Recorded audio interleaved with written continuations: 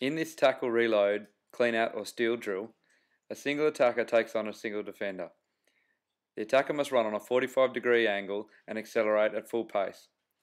The defender makes a tackle and immediately contests the ruck. The player with the pad then either arrives immediately and contests the ruck or hangs back, allowing the other player to make a decision. Key coaching points for this drill are the tackler must aim for a low focus tackle targeting the thighs of the attacker.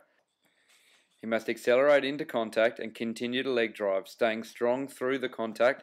Use momentum and keep legs split to quickly get to feet and immediately take the space directly over the ball and either clean out or steal the ball, depending on the timing of the opposition player.